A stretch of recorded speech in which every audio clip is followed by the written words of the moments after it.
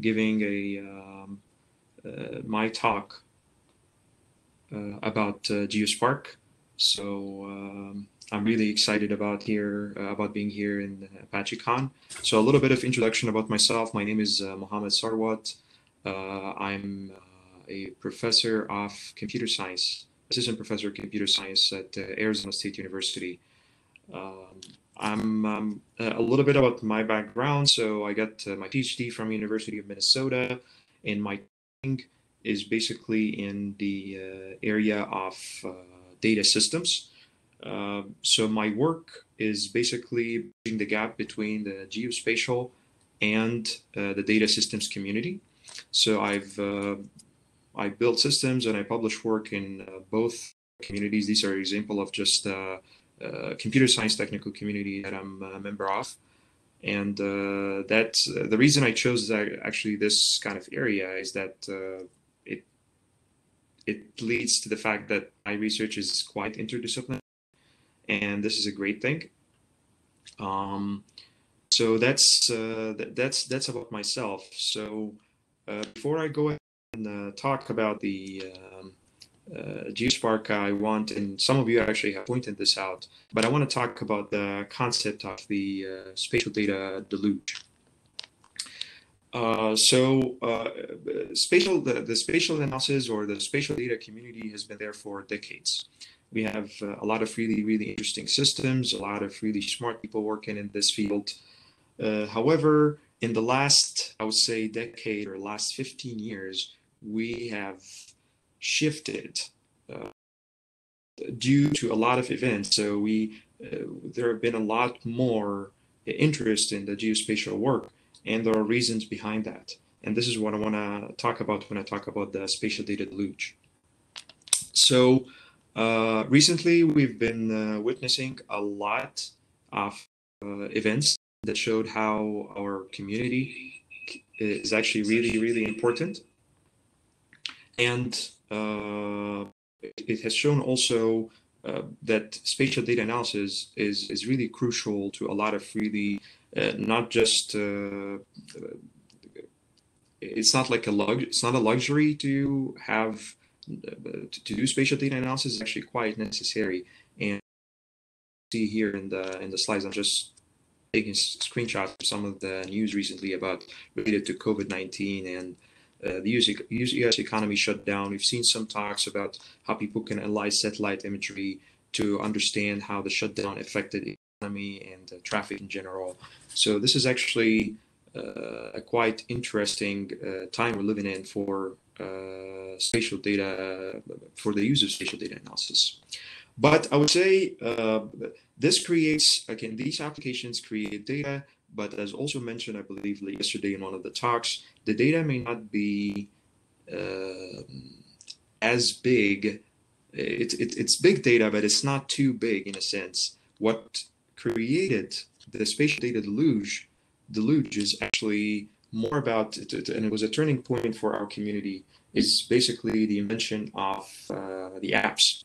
So that was basically uh, back in 2008 when uh, when like again the iphone started to have apps and this actually announcement from apple it, it, it was a great thing because almost every single app we have this phone you move around with and it has gps device it has a location device uh, and every every app sort of provide a location based service so it sends the location and start to do things based on based upon this location and that's uh, the idea the very idea of this uh, of the app and again the location technology in phones is that what created the spatial data deluge. Now apps generates tons of geospatial data. So and these are just examples, right? So uh, like Uber used to generate a lot of data and uh, Mobike, which is a bike sharing in China, generates tons of data per day. And this data is obviously uh, spatial, it's spatial temporal, it's mobility, so it's generally geospatial data. and it's a lot of data that needs to be uh, analyzed and to extract some value from. Some of these companies or even cities and governments can can use this uh, data to extract value from. So this is this is what I mean by spatial data deluge, and this is what created even created our field. Uh, all of us actually attending here now, our field. It made it uh, more interesting and more needed in the last uh, decade or so, and it's still and it, it, it will keep growing even. So the problem with this, uh, like with, with this kind of data is that yes, uh, people back in the time when we like 30 years ago or 20 years ago, uh, when we had geospatial software or geospatial systems, uh, it, these were good tools because we have uh, very small data. So people were working, for example, with shape files, working with um, generally very very small city and uh, country data or something like this. So the problem that we have tons of and a lot of people are talking about data is the new oil and we can extract a lot of value from data but the systems that existed uh, the classic systems traditional systems uh, were not up to speed with uh, the spatial data deluge so the question was how to process such data. So to process such data um, like back then like uh, we asked this question, I was like, let's say in 2013, 2014, uh, back that a lot of people were, uh, big data was a big deal and it still is, but a lot of people were interested in uh, Apache Hadoop, uh, which is a great tool. However, it came with a lot of uh, shortcomings.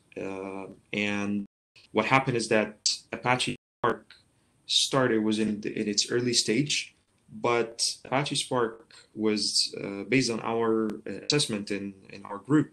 We, uh, we thought that uh, from a standpoint of uh, scalability, from a standpoint of more interactivity and faster processing of the data, still in a very large cluster, we thought that would be uh, the choice. So we took we took Apache Spark. It was not back then; it was still in early stages, and we looked at it and we said, okay, can we process geospatial data at scale that kind of huge spatial data with Apache Spark.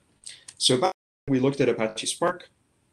We asked this question about can we process spatial data with Apache Spark. We realized that Apache Spark did not provide a geospatial data processing API. So out of the box, you download Apache Spark, you try to set up a cluster. We did not provide a geospatial data processing API the problem is that geospatial data uh, was treated. So when you talk to like, if you talk to people that are not in the geospatial domain and ask them, okay, there is no API to process geospatial data. A lot of people say that's that's okay. You can just treat the geospatial attribute as yet another attribute of the data, and things will be fine. It will work. Yes, it will theoretically work, uh, but the, the idea is that to do that, you need to write thousands of lines of code to implement just simple spatial operations, something like spatial join, or even define uh, different spatial object types and all that kind of stuff. So that, that is a problem.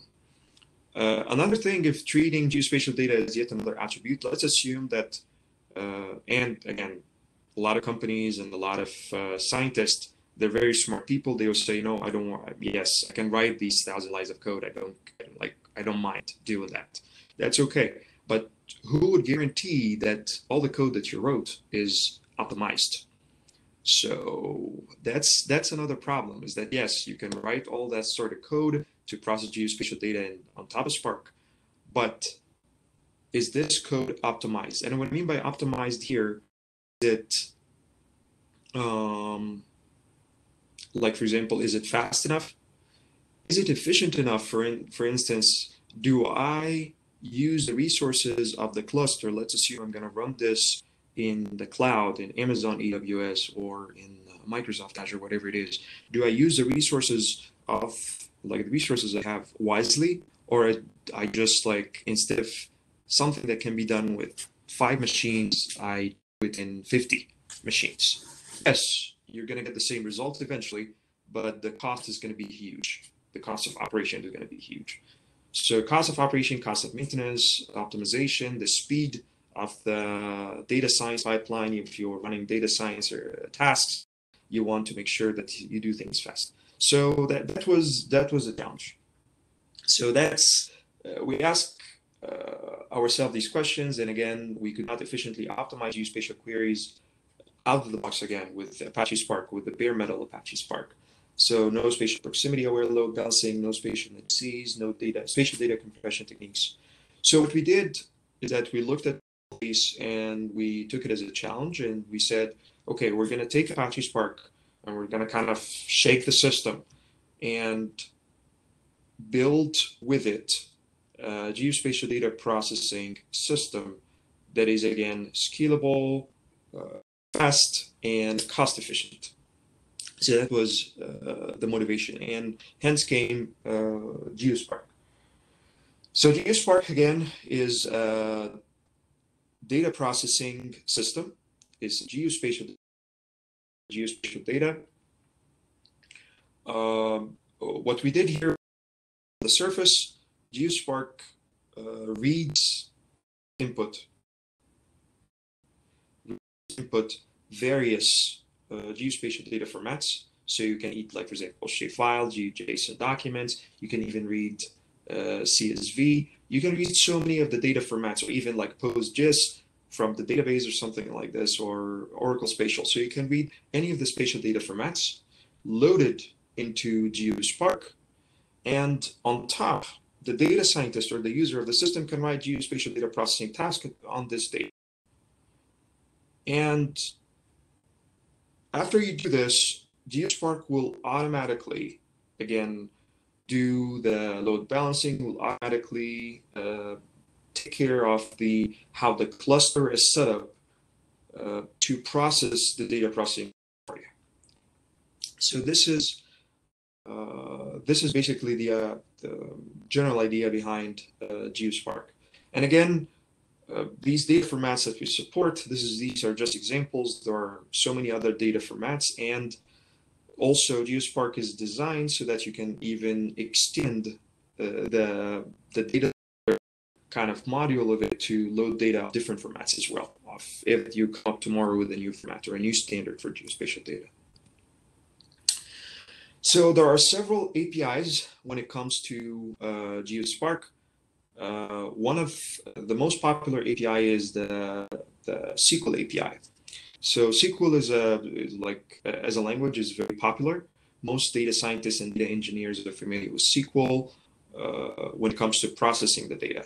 So in GeoSpark, we also provided support for uh, SQL, and we implemented most of the uh, SQL the SQL functions in the either uh, the OGC standard or the uh, MM3 standard, like several standards when it comes to geospatial data. Example of these standards is the OGC standard. So the idea is that the same way you used to run SQL,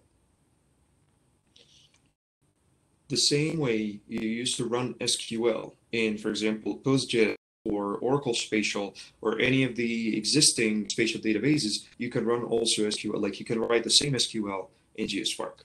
Uh, which makes it easy to use as well because we don't want to reinvent the wheel here. We want to use the same API so that the data can entertain the scalability again and all the features that we talked about and still use the same uh, language that they're used to.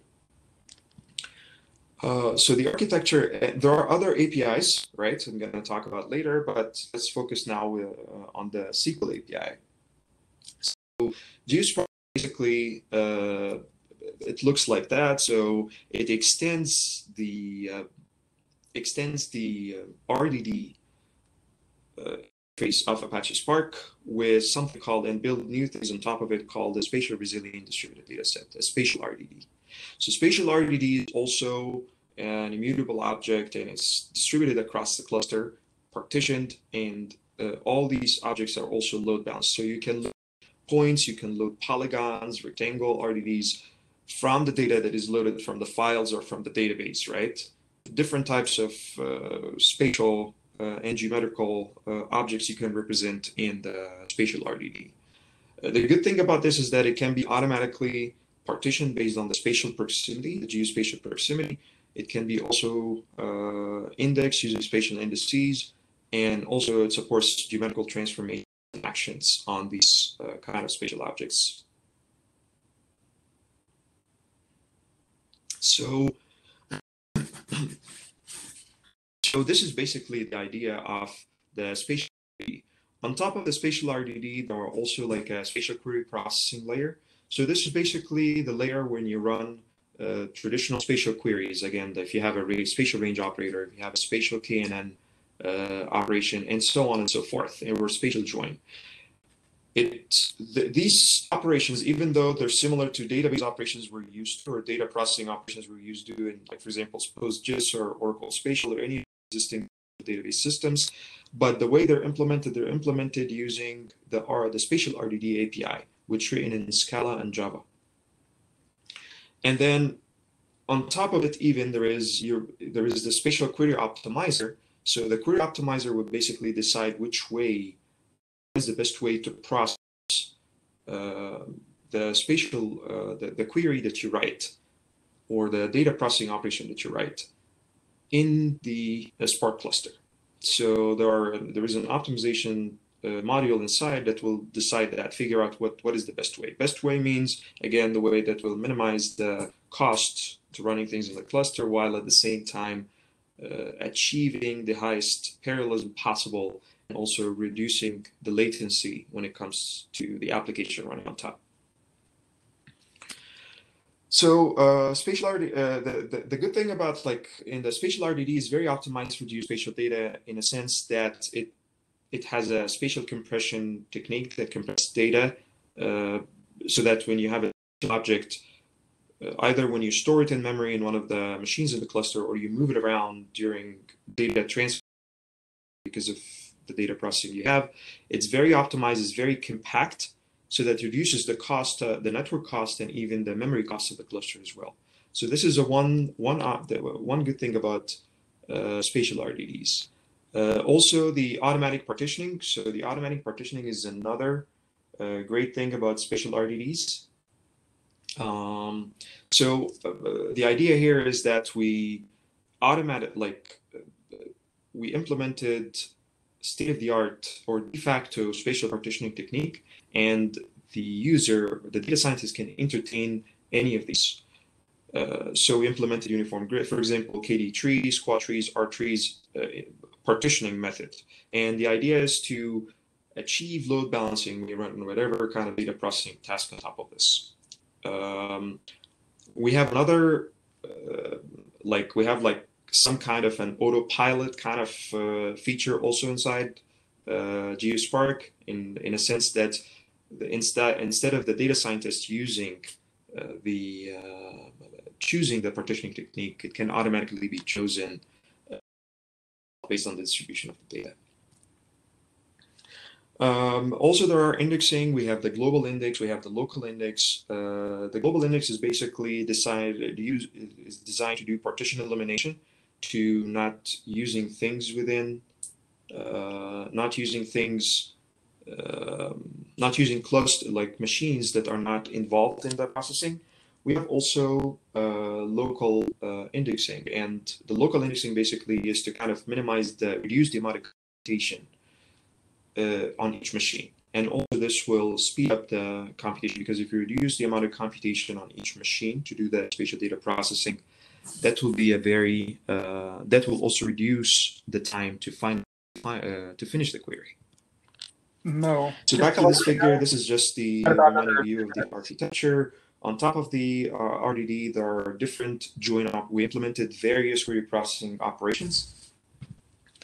So the uh, query processing uh, operations, I'm not gonna obviously I'm not explain how each one of them is implemented. An example of them is the spatial join operator.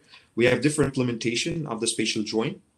Uh, this is just in this slide showing just one of the implementation that dips the partitions and do join and then remove duplicates.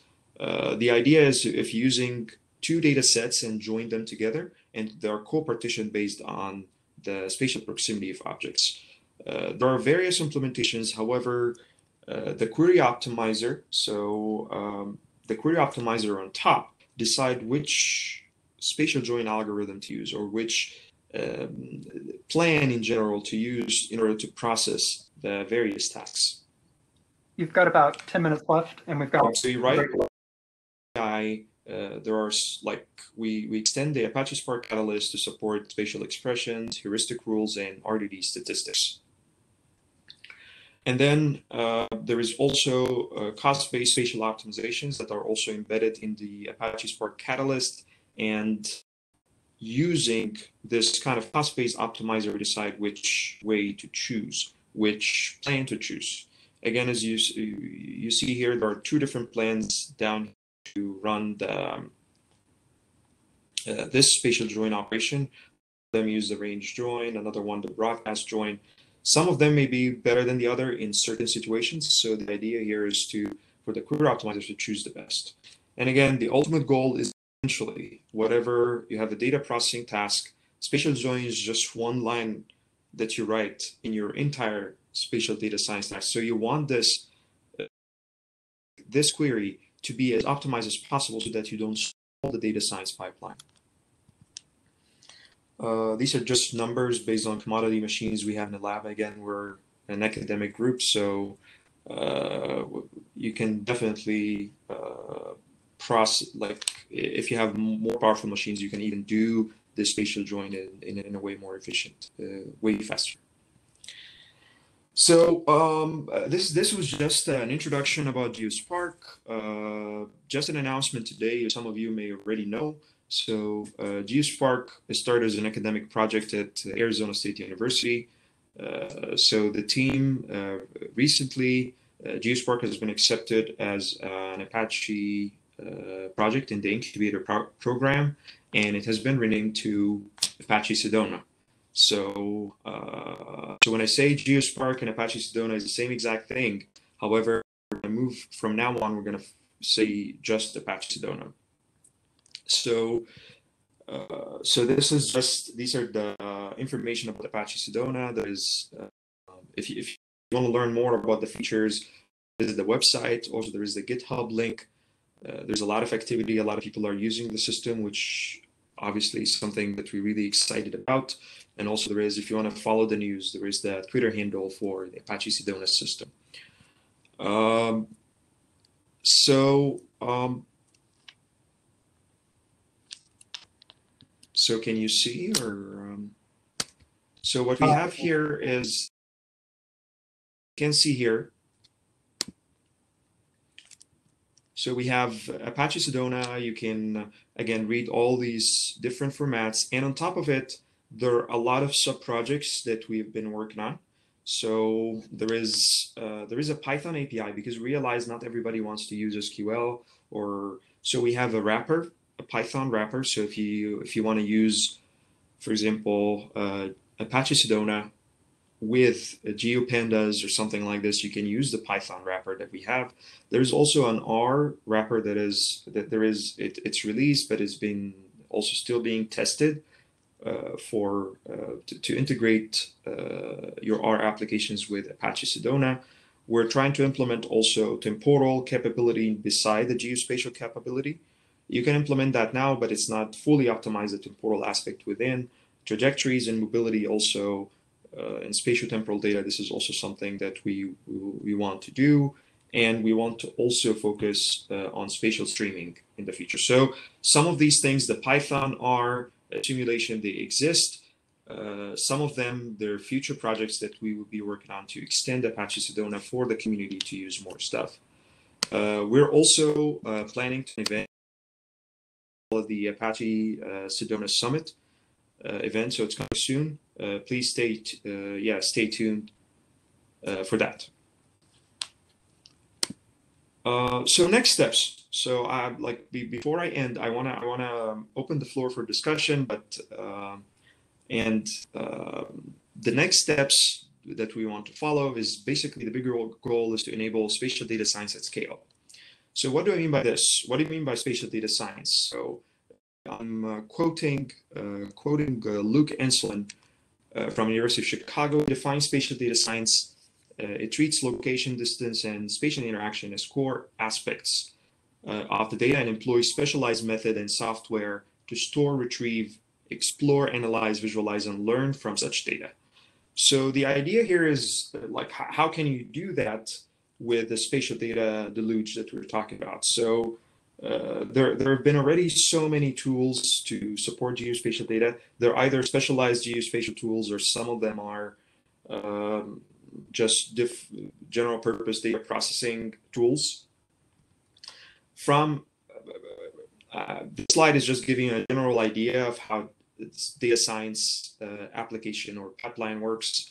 So you have a data system in the backend that can be PostGIS, Oracle Spatial, uh, and you have a data science tool. A data science tool can be R, Tableau, Esri, QGIS that you can use to perform some data science tasks, or even a machine learning library that works here. Uh, like, so you have the data scientist issue the analysis, and then from the analysis, use like this analysis is sent to the data science tool. The data science tool use a query.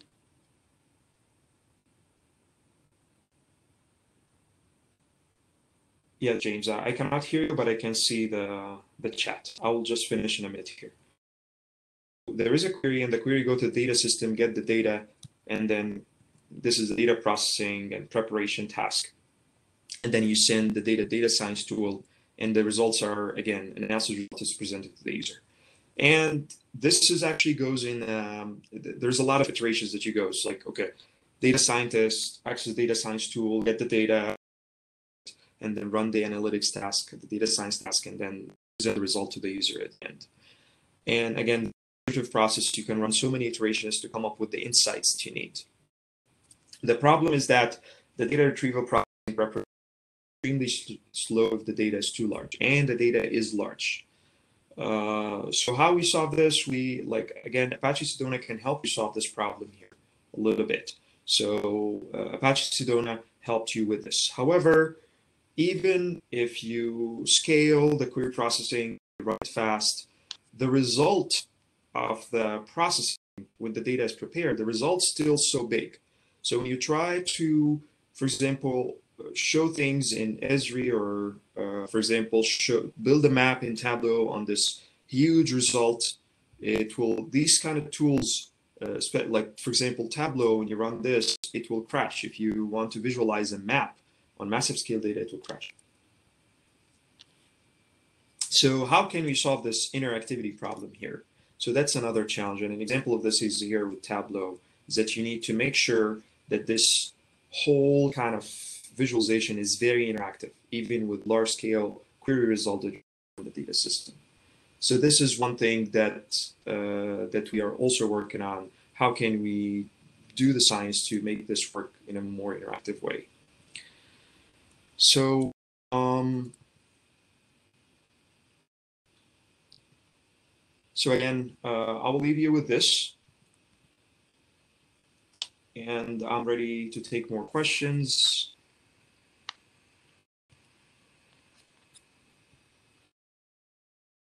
So shall I take the questions in the uh...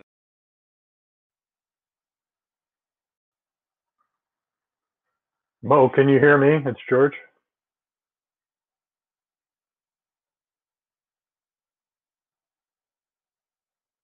Now he looks muted. I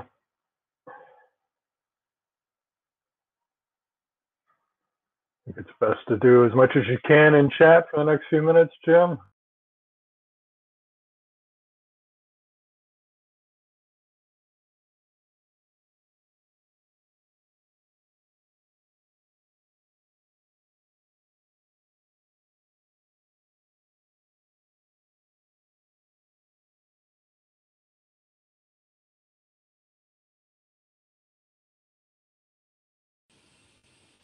So is Spark support 3. Point, uh, Spark 3.xp supported soon? Yes. Um, how does it compare to Magellan? Uh, there are there are a few comparisons with several papers, not by us, by also third party, that shows that, for example, uh, we compared with Magellan, uh, we can achieve, we can be uh, fast, we can also have, there's more comprehensive uh, geospatial data operations that we can support. Uh, this is compared to Magellan. And on the Sedona website, you will see some comparisons with other systems as well. Uh, do you plan to support 3D? Yes, we plan to support 3D. We're talking to some uh, people now to we're trying to load point clouds also data into the system. Currently, in the current version, we don't, but we're exploring all of this. Uh, so GeoMesa also provides a spatial extension to uh, spatial extension to Spark. Uh, yes, we're familiar with GeoMesa, uh, and there are some spatial extensions to Spark and GeoMesa but there are some spatial extensions to a lot of things in GeoMesa as well. Uh, we are we are like again we focused on Spark and we actually kind of squeeze the performance as much as we can so that we can achieve all these kind of things. Uh, can there be collaboration? We would love to collaborate with uh, GeoMesa uh, developers for sure, and I believe there are some kind of talks, especially when it comes to the common things we use. Um, so I'm looking at other questions, Rio. So the planning for Sedona to handle raster data, yes, that's also another thing uh, in, in the planning. Okay, so right, can you read it? Okay.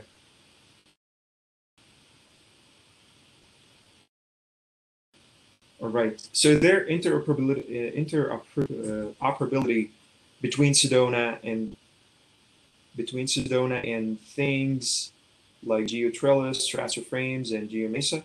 Uh, there are things that we do similar, uh, similarly. Uh, there are things that we also all like, uh, like we follow standards when it comes to ge geospatial data formats.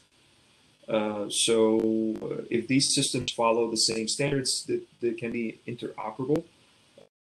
there are things that are that we implement like that are implemented in several systems that are actually uh, I would say redundant. Uh, we realize that, right? Because either, and I would say it was done by um, uh, with a good intent, like people, like some people didn't know about GeoSpark when it started a long time ago. Maybe GeoSpark didn't get a lot of traction earlier.